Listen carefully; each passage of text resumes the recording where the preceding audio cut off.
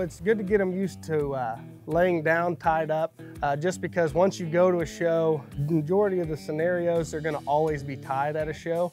So you want them to be able to feel comfortable laying down tied up. A lot of times cattle, when they go to a show the first time, if they haven't been tied up and let laid down and learned to lay down tied up, they may stand for the whole first day, uh, you know, and then that makes fatigue on their structure and the way they move. Uh, as well as the way they eat and things like that. So it is nice. Uh, and so we've even went as far as to uh, feeding them tied up a few times uh, just to get them comfortable with that scenario.